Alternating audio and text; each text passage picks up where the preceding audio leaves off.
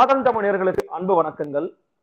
இன்று நம்முடைய பெரிதினும் பெரிதிக நிகழ்ச்சிக்கு மதுரையில் இருந்து இணையத்தின் வாயிலாக மரியாதைக்குரிய எழுத்தாளர் திரு இளங்கோவன் முத்தையா அவர்கள் நம்ம இணைந்திருக்கிறார். வாருங்கள் அவரோட ஒரு சிறப்பு பெரிதினும் பெரிதிகள் நிகழ்ச்சி. அண்ணா வணக்கம். வணக்கம். ஆதன் தமிழ் நேயர்களுக்கு இருக்கீங்களா? நன்றி இப்போ மதுரையில இருந்து உங்களை இந்த இணையத்தின் வாயிலாக இந்த நேரத்தில் அழைத்தமைக்கான மிக முக்கியமான காரணமே உங்களுக்கே தெரியும் தமிழகம் முழுக்க இந்த கொரோனா அப்படிங்கிறது தான் இப்போ அதிகமான ஒரு பேசுபொருளாக மாறி இருக்கிறது. அது மட்டுமின்றி இன்றைக்கு பாத்தீங்கன்னா மதியத்திற்கு மேலாக திரு எடப்பாடி பழனிசாமி அவர்கள் லாக்டவுனை பத்தி பேசுவார்னு சொல்லியிருக்கிறாங்க. ஆனாலும் கூட சென்னைக்கு அடுத்தபடியாக மதுரைக்கு ரொம்ப முக்கியத்துவம் கொடுக்கப்பட்டுச்சு. மதுரையில வந்து லாக்டவுன் வந்து போடப்பட்டுச்சு. மதுரையில என்னதான் நிலவரம் கொரோனாவுடைய தாக்கம் அப்படிங்கிறது எப்படி இருக்கு? களத்துல நீங்க இருக்கிறீங்க மக்கள் மதிக்கிறாங்களா லாக்டவுன் உண்மையை சொல்லணும்னா முதல் இரண்டு லாக்டவுன்கள் இருந்தது இல்லையா? மார்ச் மாதம் இருந்து ஏப்ரல் இந்த இரண்டு லாக்டவுன் இருந்தது இல்லையா? அது வந்து அதை உண்மையிலேயே மக்கள் மதிக்கலைன்னு தான் நான் சொல்லணும். மக்கள் மதிக்கல அரசாங்கமும் வந்து அதை வந்து தெளிவா மக்களுக்கு எடுத்து சொல்லலன்னு நினைக்கிறேன் நான். லாக்டவுன் இருந்தாலுமே வெளியில போறது ஆஹ் மக்கள் அந்த சமூக இடைவெளியை பற்றின எந்த கவலையுமே படாம ஆஹ் நெருக்கிறது மக்களுக்கு நோயை பற்றின சரியான அறிவுறுத்தல்களை அரசு செய்யலைன்னு நான் நினைக்கிறேன் நான். ஆனா அந்த இரண்டு கட்ட லாக்டவுனுக்கு பிறகு ஒரு நடுவுல ஒரு கொஞ்ச நாள் ரிலீஸ் பண்ணியிருந்தாங்க இல்லையா? இந்த இப்ப போட்டிருக்க லாக்டவுனுக்கு முன்னாடி. அந்த சமயத்துக்கு அடுத்து திரும்பி இப்ப லாக்டவுன் வரும்போது என்னன்னா மதுரையிலயும் எண்ணிக்கைகள் அதிகமாயிருச்சு. எனக்கு தெரிஞ்சதுக்கு. காரணம்னு நான் நினை- நான் நினைக்கிறது வந்து சென்னையில இருந்து நிறைய பேர் இங்க வந்து மக்கள் இங்க திரும்பி வந்தாங்க. சென்னை வந்து கொரோனா எண்ணிக்கை நாளுக்கு நாள் ஆயிரக்கணக்கான போனதுக்கு அப்புறம் சென்னை டோட்டல் லாக்டவுன் வரும்போது அங்க இருந்து நிறைய பேர் வந்தாங்க. அதுக்கு அப்புறம் தான் இங்க வந்து மதுரை போன்ற நகரங்கள்லயும் இதுக்கு ஒட்டி இருக்க கிராமங்கள்லயும் இருந்தது. இரண்டாவது மதுரையில கொரோனா அதிகமானதுக்கு முக்கியமான காரணங்கள்ல ஒண்ணு என்னன்னா சென்னையில எப்படி கோயம்பேடு மார்க்கெட்டோ அதே மாதிரி மதுரையில் உள்ள பறவை மார்க்கெட். தமிழ்நாட்டுல உள்ள மூணாவது மிகப்பெரிய காய்கறி சந்தை பறவை மார்க்கெட். இரவு மார்க்கெட் அது. முதல்ல. கோயம்பேடு ஒட்டஞ்சத்திரம் மூன்றாவது மதுரை. தென் மாவட்டங்களுக்கு முழுக்க இங்க இருந்தா காய்கறி போகுது. கொடைக்கானல் போன்ற மலைப்பகுதியிலிருந்து வர்ற காய்கறிகள் மொத்தம் இங்க இருந்து தான் கேரளா உள்ளிட்ட நிறைய இடங்களுக்கு பிரிச்சு அனுப்புறாங்க. நீங்க செய்- செய்திகள்ல பாத்தீங்கன்னாலுமே வந்து மதுரையில் வந்து கொரோனா அதிகமா கொரோனா நோயாளிகள் அடையாளம் கண்டுபிடிக்கப்பட்டது வந்து பறவை மார்க்கெட் ஏன்னா அது வந்து அதிகமா. மக்கள் வந்து நம்ம ரொம்ப நெருக்கமா வெளியூர்கள்ல இருந்து வந்தவங்க நிறைய பேர் புழங்குற இடமா இருந்ததுனால மதுரையில கொரோனா பரவுனதுக்கு இரண்டு காரணங்கள். ஒண்ணு பறவை மார்க்கெட் ஒண்ணு இன்னொன்னு வந்து வெளியூர்கள் இருந்து முக்கியமா சென்னையில இருந்து நிறைய பேர் இங்க சொந்த ஊருக்கு திரும்பி வந்ததுக்கான ஒரு காரணம் ஒண்ணு இருக்கு. ரெண்டாவது இந்த லாக்டவுன் முடிஞ்ச உடனே எட்டு மணி வரைக்கும் கடைகள் திறக்கலாம்னப்ப மக்கள் நிறைய சகஜமா புழங்க ஆரம்பிச்சது இது ஒரு காரணம். இப்போ நீங்களே சொல்றீங்க இப்போ மதுரையில வந்து இப்படியாக அதிகமானதற்கான காரணம் இது போன்ற விஷயங்கள் சொல்றீங்க. அப்ப இது வந்து. முழுக்க அரசு வந்து இதை கையில் எடுத்துக்கொண்டு சரியான நடவடிக்கைகளை மேற்கொண்டு முடித்து விடலையா? அல்லது மக்கள் வந்து என்னதான் அரசு சொன்னாலுமே கூட நாம நம்முடைய வேலையை பார்க்கலாம் அப்படின்ற மாதிரி இருந்துட்டாங்க. தீவிரத்தன்மையை யாருதான் புரிஞ்சுக்கலாம் நீங்க நினைக்கிறீங்க? முதல் இரண்டு மாசங்கள்ல வந்து மக்களுக்கு எந்த ஆப்ஷனுமே கொடுக்கலையே. மக்கள் வந்து வீட்டில தான் இருந்தாங்க இரண்டு மாசங்கள்ல. அந்த சமயத்துல அரசாங்கத்துக்கு வந்து மிக ஒரு அருமையான ஒரு டைம் இருந்தது. எது என்னன்னா இந்த மாதிரி அடுத்தது லாக்டவுனை கிளியர் பண்ணா லாக்டவுனை ஓபன் பண்ணோம்னா நிறைய நோயாளிகள் வர்றதுக்கான வாய்ப்பு இருக்குன்னு தெரிஞ்சு அதுக்கேற்ற ஏற்பாடுகள் ஏதாவது செஞ்சிருக்கலாம். செஞ்சுட்டாங்களே அதாவது இந்த இப்போ உள்ள பிரச்சனை என்னன்னா அரசாங்கம் என்ன பண்ணுதுங்கிறது வந்து பெருசா மக்களுக்கு வந்து வெளிப்படையா தெரியல. நம்ம நோய் நம்ம ஒரு கொரோனா நோயாளி ஆனதுக்கு அப்புறம் தான் அதை புரிஞ்சுக்க முடியும் போல இருக்கு. அரசுங்க நம்மளுக்கு என்ன செஞ்சுக்கிட்டு இருக்கு செய்யலன்னு. ஏன்னா எந்த தகவல்களும் வெளிப்படையா இல்ல. நோயாளிகளோட எண்ணிக்கைன்னு ஒன்று சொல்றாங்க. இங்க இங்க நம்ம ரியல் லைஃப்ல பாக்குறது வேற மாதிரி இருக்கு. இப்போ நிறைய ஹோட்டல்கள் நிறைய இதெல்லாம் வந்து கொரோனா வரன்னு சொல்றாங்க. ஆனா அதெல்லாம் எந்த செய்திகளையுமே வர்றதில்லை. ஸோ மக்களுக்கு இது இது வெளியில சொன்னா மக்கள் பயந்துருவாங்கன்னு அரசாங்கம் நினைக்குதா? அல்லது இன்னொரு பக்கம் இதை வேற மாதிரி சொன்னா இது வெ- உண்மைகளை சொல்லாம இருந்து என்ன ஆக போகுதுன்னு தெரியல. மக்கள்கிட்ட வெளிப்படையா உண்மையை சொன்னாலாவது ஒரு பயம் வரும் இல்லையா? ஏன்னா இன்னைக்கு ஒரு கேஸ் ரெண்டு கேஸ் இருந்தது போக இப்போ இரநூத்தி தொண்ணூறு முந்நூறு கேஸ்னு வரும்போது கூடிய சீக்கிரம் மதுரையும் சென்னை மாதிரி ஆயிரக்கணக்கான கேஸ் வரதுக்கு எவ்வளவு நாள் ஆகும்னு தெரிய மாட்டேங்குது. அரசாங்கம் உண்மையை சொல்லுதா? இல்ல மக்கள் பயந்துருவாங்கன்னு உண்மைகளை குறைச்சு சொல்லுதான்ற இதுக்கே தெரியல ஒண்ணு.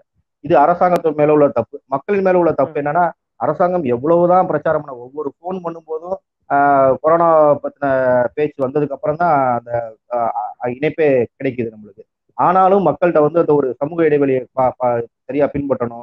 சானிடைசர் யூஸ் பண்ணணும். ஒரு மா ஒரு முகத்துல மாஸ்க் போடணுன்ற சிந்தனைகள்லாம் நம்ம மக்களுக்கு இன்னும் வரல. மக்கள் எனக்கு தெரிஞ்சு எப்ப பயப்பட ஆரம்பிச்சிருக்காங்கன்னா கொரோனா வந்து இன்கேஸ் நம்ம ம- நம்மளுக்கு மரணம்னு சம்பவிச்சா சொந்தக்காரங்க கூட வந்து பார்க்க முடியாது ஹாஸ்பிட்டல் வந்து பார்க்க முடியாது. நம்மளை வந்து யாருமே இல்லாம தூக்கிட்டு போய் புதைச்சிடுவாங்கன்ற எண்ணம் மட்டும் தான் மக்களுக்கு பயப்பட உண்டே தவிர உயிரோடு இருக்கிறதுக்கான வேலைகளை மக்கள் பார்த்த மாதிரியே எனக்கு தெரியல. இங்கெல்லாம் பாத்தீங்கன்னா இளைஞர்களும் இவங்களும் சேர்ந்து போறதெல்லாம் பார்த்தோம்னா நம்மளுக்கு உண்மையிலேயே உங்களுக்கு இதை பத்தி அக்கறை இருக்கா இல்லையான்னு தெரியல. பெரியவங்க உண்மையிலே பயந்துட்டு வீட்டுக்குள்ள தான் இருக்காங்க. ஆனா இளைஞர்களை பொறுத்த வரைக்கும் அவங்களுக்கு உண்மையை சொல்ல போனா அவங்க பாதிக்கப்பட போறது இல்லை. இளைஞர்கள் பாதிக்கப்பட போறது இல்ல. இதனால ஒரு வீட்டுல ஒரு இளைஞர் பாதிக்கப்பட்டான்னா அவங்களால அந்த பெரியவங்களுக்கு தான் மரணம் வரைக்கும் கொண்டு போய் தவிர இளைஞர்கள் அவங்களோட உடம்பு ஹெல்த்தியா இருந்துச்சுன்னா அவங்க சமாளிச்சிருவாங்க. ஆனா மக்களுக்கு இதை பத்தின பொதுவான விழிப்புணர்வுலாம் பெருசா இல்லை. அரசு வந்து இந்த விழி இந்த விழிப்புணர்வை சரியான முறையில கொடுத்துச்சா என்னன்னு எனக்கு தெரியல. ஒரு பிரச்சார துணிலேயே கொண்டு போயிட்டாங்க. இது ஒண்ணு. இன்னொன்னு வந்து என்னன்னா எல்லாருக்குமே இது வந்து உயிரை எடுக்கிற ஒரு நோயா இன்னும் மக்கள் பார்க்கலையோ நான் நினைக்கிறேன் நான். சாதாரண சளிக்காய்ச்சல் கொடுக்குறவங்க அது அந்த மாதிரியான ஒரு வியாதி தான் அது சாதாரண சளிக்காய்ச்சலுக்கான வியாதி தான் இது. ஏற்கனவே நோய் கூறுகளோட இருக்கவங்களுக்கு இது மரணம் வரைக்கும் கொண்டு போகுன்றதை வந்து மக்கள் இன்னும் சரியா புரிஞ்சுக்கலையான்றது கூட எனக்கு சந்தேகம் இருக்கு. ஏன்னா சாதாரணமா பார்க்கும்போது மாஸ்க் போடுறது இல்ல மாஸ்கை வந்து வாய் கீழே போட்டுட்டு போறது. அல்லது சும்மா ஒரு துணியை சுத்துறது. அந்த மாதிரி தான் இருக்காங்களே தவிர சீரியஸ்னஸ் வந்துருச்சான்றது எனக்கு இன்னும் தெரியல. ஒரு ரெண்டாவது மாஸ்க் மட்டுமே நோயை தடுத்துருமான்ற கேள்வி ஒண்ணு இருக்கு இல்லையா? அதுவும் ஒண்ணு இருக்கு. நிச்சயமா. இரண்டு தரப்புலையுமே பிரச்சனை இருக்கு. அரசாங்கம் வந்து முழு உண்மைகளையும் மக்களுக்கு சொல்றது இல்ல. மக்கள் வந்து என்னதான் அரசாங்கம் பிரச்சாரம் பண்ணுது அல்லது சமூக ஊடகங்களை சொல்றாங்க வெளிய நிறைய கட்டுரைகள் படிக்கிறாங்க நியூஸ்ல வருது எல்லாத்துல வந்தாலுமே மக்கள் வந்து இன்னும் அந்த அளவுக்கு விழிப்புணர்வோட இருக்க மாதிரிலாம் எனக்கு தெரியல. தெரியல. ஆனா இப்போ இன்னொரு மிக முக்கியமான கேள்வி இருக்கு. இப்ப சென்னையில பாத்துட்டு வச்சுக்கோங்களேன். சென்னையில வந்து ஒரு இருநூறு முந்நூறு வரும்போது ரொம்ப அச்சப்பட்டாங்க ரொம்ப பயந்தாங்க. அதன் பிறகு கொஞ்சம் கொஞ்சமா அதிகமாக அதிகமாக கடைசியில வந்து ஓகே ரொம்ப இயல்பானதுதான்ப்பா அப்படின்னு கடந்து போற அளவுக்கு அந்த மனநிலைக்கு மக்களே வந்துட்டாங்க. அப்ப மதுரையில இது போன்ற மனநிலைக்கு மக்கள் வரக்கூடாதுன்னா அரசு என்ன செய்யணும்னு நீங்க நினைக்கிறீங்க? எல்லாம் மக்கள் வந்துட்டாங்கன்னு நீங்க நினைக்கிறீங்களா? ஆஹ், மக்கள் ஏற்கனவே வந்துட்டாங்கன்னு தான் நான் நினைக்கிறேன். ஒண்ணு இதுல ரெண்டு விஷயம் இருக்கு. ஒண்ணு என்னன்னா முதல் இரண்டு மாதங்கள் அதாவது நான் திரும்ப நான் சொல்றதுதான் முதல் இரண்டு மாதங்கள் வந்து அரசாங்கத்துக்கு வந்து அரசுகளுக்கு கிடைத்த ஒரு அருமையான நேரம். அரசுகள் அதை வீணடிச்சிருக்குன்னு தான் நான் சொல்லுவேன் நான். ஏன்னா இரண்டு மாதங்கள் வந்து தொடர்ந்து எந்த விதமான வருமானத்துக்கோ தொழில் பார்க்கவோ எந்த வசதியும் இல்லாம மக்கள் அதை ஏத்துக்கிட்டாங்க. ஒரு உலகளாவிய அளவுல ஒரு வந்து ஒரு கிருமி தாக்கி இருக்கு. மக்கள் ஆமா. அதை வந்து மக்கள் ஓரளவுக்கு ஏத்துக்கிட்டாங்க. ரெண்டு மாசம்ன்றது இப்போ நான் வங்கி சார்ந்த பணியில இருக்கிறனால எனக்கே இரண்டு மாதங்கள் வீட்டுல இருக்கிறது வந்து சிரமமான விஷயம் தான். அடுத்த மாசம் செலவுக்கு என்ன பண்ணுவோம்னு எங்களுக்கு அந்த கண்ணு முன்னாடி வந்து செலவுகள் வந்து நிற்கும் இப்போ தினக்கூலியில வேலை பார்க்குறவங்க ஒரு கட்டட வேலைக்கு போறவங்க ஒரு கூலி வேலைக்கு பார்க்குறவங்க இன்னைக்கு சம்பாரிச்சு இன்னைக்கு சாப்பிடணும்னு நினைக்கிறவங்க இரண்டு மாசம் வந்து எந்த விதமான எதிர்ப்புணர்வுமே இல்லாம சாலையில வந்து இறங்கி உட்காராம இவ்வளவு தூரம் அமைதியா இருந்ததே பெரிய விஷயம். அப்ப இது அரசு தான் சரி இதுவரை பயன்படுத்தி முழு வீச்சுல நடவடிக்கை எடுத்துருக்கணும்னு நான் நினைக்கிறேன் எல்லாத்துக்கும் பொதுமக்களே நம்ம சொல்லிட்டு இருக்கோம் பொதுமக்களால கேள்வி இருக்குண்ணே. இப்ப என்னன்னா அப்ப லாக்டவுனை வந்து நிறுத்துங்க. அப்ப லாக்டவுன் போட்டுறாதீங்க. லாக்டவுன் நிறுத்துனீங்கன்னா அவர் அவர்கள் தங்களோட இயல்பு வாழ்க்கையை பார்க்க போடுவாங்கன்னு சொல்ற ஒரு வார்த்தை நீங்க ஏற்கிறீங்களா? அது சரியான நான் நினைக்கிறீங்களா நீங்க? இப்போ இதுக்கு நான் வேற விதமான ஒரு கேள்வி தான் கேட்க வேண்டியிருக்கும். அப்படின்னா அதாவது ஒருத்தருக்கு நம்ம ரெண்டு சாய்ஸ் தான் நம்ம கொடுக்குறோம். நீ கொரோனால சாகரியா பட்டினியில் சாகரியான்னு நம்ம கேட்குற மாதிரி இருக்கு கடைசியில. நம்ம அந்த ஆங்கிலையும் நம்ம யோசிக்கணும் இல்லையா? கொரோனா வருதுன்றது ஒரு விஷயம். ஆயிரத்துக்கு ஒரு நம்ம சதவீத கணக்கு எடுத்து பார்த்தோம்னா ஆயிரத்துக்கு இரண்டு பேருக்கு கொரோனா தாக்குது. அந்த இரண்டு பேர்லயுமே வந்து பாயிண்ட் டூ அந்த அளவுக்கு பாயிண்ட் ஒன்று அந்த அளவுக்கு தான் வந்து மரணம் சம்பவிக்கிறது. இதை நம்ம டேட்டாவா நம்ம பாக்குறதுன்றது வேற. ஆனா பசியும் பட்டினியும் எல்லாருக்கும் பொதுவானது. இன்னைக்கு உழைச்சு நாளைக்கு சாப்பிடணுன்றதோ எல்லாருக்கும் பொதுவானது. அரசாங்கம் கொடுக்குற ஆயிரம் ரூபாய் எந்த அளவுக்கு இன்னைக்கு நீங்க காய்கறி கடைக்கு போய் பாருங்க. ஒரு நாளைக்கு சாதாரணமா நாலு பேர் உள்ள குடும்பத்துக்கு நீங்க சாதாரணமான காய்கறிகள் வாங்கினீங்கன்னா நூறுல இருந்து நூத்தம்பது ரூபா வரைக்கும் வந்துருக்கு அப்போ அரசாங்கம் கொடுக்குற ஆயிரம் ரூபான்றது நாலு பேர் உங்களோட குடும்பத்துக்கு ஒரு வாரம் அல்லது மீறி போனா பத்து நாளைக்கு வரலாம். அதுக்கு மேல வந்து வரதுக்கான வாய்ப்பு இல்லை. எத்தனை நாள் இதை வச்சுட்டு ச- இது நிக்க முடியும்? ஒண்ணு. இன்னொன்னு தொழில்கள் வந்து நின்று போறதுனால என்ன ஆகுதுன்னா தினசரி சம்பாரிச்சுன்றது சாப்பிட்றவங்கன்றது வேற. பேங்க்ல கடன் வாங்கியிருக்கவங்க வங்கியில கடன் வாங்கியிருக்கவங்க முதலீடு பண்ணி தொழில் பண்ணியிருக்கவங்க அழி அழியக்கூடிய பொருள்களை வச்சு உணவுப் பொருள் மட்டும் நினைச்சுக்காங்க அழியக்கூடிய பொருள் நிறைய இருக்கு. ஒரு ஜெராக்ஸ் கடையில உள்ள பேப்பரை நீங்க ஓபன் பண்ணி வச்சுட்டு வந்தீங்கன்னா பத்து நாள் கழிச்சு அது மஞ்சள் அடிச்சிடும் அந்த கடையில. ஒரு சாதாரண ஏ ஃபோர் வெள்ளை கலர் பேப்பர் வந்து நீங்க ஜெராக்ஸ் கடையில அந்த பண்டில விட்டு நீங்க ஓபன் பண்ணிட்டீங்கன்னா பத்து நாள் கழிச்சு அது ஒரு மாதிரி மஞ்சள் அடிச்சிடும் அந்த பேப்பர் அடுத்து வர வாடிக்கையாளர் வந்து எனக்கு வேற பேப்பர்ல புது பேப்பர் எடுத்து கொடுங்கன்னு சொல்லுவாங்க. இந்த மாதிரி தொழில்கள் நின்று போறதுனால எவ்வளவு அதை திருப்பி அந்த தொழில் ஆரம்பிக்கிறதுக்கு அவங்க திருப்பி இன்னொரு முதலீடு பண்ணணும் அதுக்கு பணம் வேணும். இது இந்த இந்த நிலைமைகளை நம்ம யோசிக்கணும் இல்லையா? நம்ம வந்து கொரோனாவை மட்டுமே நம்ம பேசிக்கிட்டு இருக்கோம். அது உயிர் பயம் கொடுக்கறனால அதை மட்டுமே நம்ம பேசிக்கிட்டு இருக்கோம். ஆனா வாழ்வாதாரத்தை பத்தி நம்ம பேசவே மாட்டேங்கிறோமே. இப்ப இன்னி இன்னி- இன்னொரு லாக்டவுன் இன்னைக்கு கண்டினியூ ஆகும்னு பார்த்தா கொரோனாவை முன்னிட்டு இன்னொரு லாக்டவுன் வந்து போடக்கூடிய நிலைமையில தான் மதுரை இருக்குன்னா ஆமான்னு தான் சொல்லுவேன் நான். அப்படிதான் இங்க மதுரை மக்கள்ல வந்து யூகங்களும் பேச்சுகளும் அப்படிதான் இங்க போயிட்டு இருக்கு இன்னொரு லாக்டவுனை நாங்க எதிர்பார்த்துக்கிட்டு தான் இருக்கோம். ஆனா அதே சமயத்துல அப்படி ஒரு லாக்டவுன் வந்தா மக்களோட வாழ்வாதாரம் மிகப்பெரிய பெருத்தளவுல பாதிக்கப்படும். ஆனா இப்போ நீங்க அடுத்து- பாத்துருப்பீங்க சொல்லுங்க. மருத்துவ குழு வந்து ஒரு அறிக்கை சொல்லிருந்தாங்க. மருத்துவ குழு என்ன சொல்றாங்க அப்படின்னா பொது போக்குவரத்தின் காரணமாக ஆஹ், கொரோனாவானது வந்து பரவி இருக்கிறது அப்படிங்கிறாங்க. நாங்க ஆனா லாக்டவுனை எக்ஸ்டென்ஷன் பண்ண சொல்லி பரிந்துரைக்கவில்லைன்றாங்க. இப்ப மருத்துவர்களுடைய வார்த்தை அடிப்படையில பார்த்தா கூட இரண்டு வேறு கருத்துகள் இருக்கு. இப்ப பொது போக்குவரத்து வேணுங்கிறீங்களா வேணாங்கிறீங்களா அப்படின்னு பத்திரிகைகள் கேட்டா அவங்கள்ட்ட சரியான பதில் இல்ல. அப்படி பார்க்கும்போது இப்ப நீங்க சொல்றீங்க நிச்சயமா வேணும் தான் அப்படிங்கிறீங்க. ஆனா இன்னொரு பக்கம் பார்க்கும்போது மக்கள் கடுமையாக பாதிக்கப்படுவாங்கங்கிறீங்க. அப்ப அரசு என்ன முன்முடிவு எடுக்க முடியும்? நான் இரண்டு இரண்டு தரப்பையுமே தான் நான் பேச விரும்புறேன். அரசு எடுக்கிற முடிவை நான் சொல்ல போன தடவை வந்து பொது போக்குவரத்தை போன தடவை ஆரம்பிச்சிருக்க வேண்டாம் தான் நான் சொல்றேன் நான். பொது பொது போக்குவரத்தை இந்த இரண்டு கட்ட லாக்டவுன் முடிஞ்ச உடனே பொது போக்குவரத்து ஆரம்பிச்சாங்க இல்லையா? அதையுமே குறைஞ்ச அளவுல தான் ஆரம்பிச்சாங்க. அதாவது என்னன்னா முப்பது சதவீத பேருந்துகள் தான் ஓடினா மதுரையில நான். பார்த்த வரைக்கும் பொது போக்குவரத்துல பெரிதான கூட்டம்லாம் ஒண்ணும் இல்லை. கடைகள்லயும் பொது இடங்கள்லயும் மக்கள் நிக்கிற கூட்டத்தை நம்ம ஒப்பிட்டு பார்க்கும்போது பஸ்ஸுகளை வந்து நெருக்கி பிடிச்சிட்டு தொங்கிட்டு போன மாதிரி கூட்டங்களை எல்லாம் நான் பார்க்கல நான். அந்த மாதிரிலாம் நான் பார்க்கவே இல்லை. அப்படி அந்த பொது போக்குவரத்து ஆரம்பிச்சதுனால தான் கொரோனா பரவச்சுன்ற வாதத்தை நான் ஏற்கிறதுக்கு தயாரா இல்லை. ஆஹ் அதுக்கு பதிலாக பொதுவாக மக்கள் கூடின இடங்கள்லாம் இருக்கு இல்லையா? மார்க்கெட் மாதிரியான இடங்கள் ஆஹ் வணிக வளாகங்கள் இந்த மாதிரி. அதை வணிக வளாகம் நான் சொல்றது என்னன்னா இதே தான் சூப்பர் மார்க்கெட் இந்த மாதிரி தான் சொல்றேன் நான். என்னதான் போலீஸ் கட்டுப்பாடா இருந்தாலும் இது இது வந்து ஒரு விதத்துல இதை தவிர்க்க முடியாத மாதிரி தான் இருந்தது. பறவை மார்க்கெட்ல நீங்க இரவு நேரத்துல போனீங்கன்னா அங்கே எந்த விதமான கட்டுப்பாடையும் நீங்க பார்க்க முடியாது. கட்டுப்பாடா இருக்கவும் முடியாது அந்த இடத்துல. மொத்தமா ஒரு ஒரு சின்ன ஒரு ஏரியால வந்து ஒரு முந்நூறு நானூறு லாரி வந்து நிற்கும் போது அங்கே வந்து நீங்கள் சமூக இடைவெளியை பின்பற்றுங்க நம்ம சொல்லிட்டு இருக்க முடியாது. ஆனால் அந்த காய்கறியும் இது வந்து இங்கே தினசரி அத்தியாவசிய தேவையா இருக்கும் இங்கே மதுரைக்கு தான். மதுரைக்குள்ளேயே வெளி மாநிலங்கள் போகிற மாவட்டங்கள் போகிறனால நம்ம வந்து என்னன்னா இந்த லாக்டவுனை தொடர்ந்து நம்ம அரசாங்கம் இதை திரும்பி இந்த லாக்டவுனை கொண்டு போகணும்னு நம்ம சொன்னோம்னா கொரோனாக்காக நம்ம அதை ஒத்துக்கிட்டோம்னா அதே சமயத்துல வந்து இங்க வந்து இந்த பிரச்சனையும் இருக்கு நம்மளுக்கு. அதாவது மக்களோட வாழ்வாதாரம் பாதிக்கப்பட்டு இதில் இதுல இவங்க கஷ்டப்படுற நிலைமைக்கு நம்ம அதையும் நம்ம சீர்தூக்கி பார்க்க வேண்டியது. சோ அரசு வந்து தன்னுடைய கையில வந்து ஒரு முடிவு எடுக்கிறதுக்கு முன்னாடி சாதக பாதகங்களை பார்த்து தான் முடிவு எடுக்கணும் அப்படின்னு நீங்க சொல்றதை ஆமா. சாதக பாதங்களை பா பா- பார்க்கணும். சாதக பாதங்களை பார்க்கணும். ரெண்டாவது ஒவ்வொரு தடவையுமே ஒரு பாதி சரியான முடிவும் பாதி தவறான முடிவும் எடுக்கிற மாதிரியே இருக்கு. முதல்ல முதல்ல கொடுத்த ரெண்டு மா மாச லாக்டவுனை வந்து சரியாக பயன்படுத்தி இருந்தாங்கன்னா அடுத்து லாக்டவுனை கிளியர் பண்ணும்போது கொஞ்சம் கொஞ்சமா கொண்டு வந்திருக்கலாம். பொது போக்குவரத்து அப்பயே கொண்டு வந்திருக்க வேண்டாம். கொஞ்சம் கொஞ்சமா ரிலீஸ் பண்ணியிருக்கலாம் ஒண்ணு அடைச்சா மொத்தமா அடைக்கிறது இல்லைன்னா வந்து மொத்தமா திறந்து விடுற மாதிரி நிலைமை மேலும் கொண்டு வந்தாங்கன்னா இது மேலும் மேலும் இந்த அப்படியே இந்த சைக்கிள் சுத்திக்கிட்டே தான் இருக்கும்ன்றதான் என்னோட எண்ணம். உங்களுடைய என்ன எடுத்துக்க முடியுது அப்படின்னு பாத்தீங்கன்னா அடுத்த சென்னையாக மதுரை மாறுவதற்கு முன்னாடியே நடவடிக்கைகள் ரொம்ப முடுக்கி விடணும் அப்படின்னு நீங்க சொல்றீங்க. அடுத்த சென்னையாக ஆகக்கூடிய நிலைமையை நோக்கி தான் நாங்க போயிட்டு இருக்கோம். அதனால என்ன பண்ணணும்னா அரசு இனி என்னுடைய ஐடியா என்னன்னா லாக்டவுனை நீடிக்கிறது தப்பு இல்லைன்னு தான் நான் சொல்லுவேன் நான். ஆனா இதை வந்து ஒரு என்ன சொல்ல ரெஸ்ட்ரிக்டட் இதா கொண்டு வரலாம். அந்த முதல் தடவை இருந்த மாதிரி ரெண்டு மணி வரைக்கும் அல்லது நாலு மணி வரைக்கும் கொண்டு வந்துடலாம் அனாவசியமான பொது போக்குவரத்து இதுகளை தடை பண்ணலாம். ரெண்டாவது ரெ- ரெண்டு மணி வரைக்கும் தான் கடைங்கும் போது அந்த ரெண்டு மணிக்குள்ள தான் எல்லா கூட்டமும் போகுது.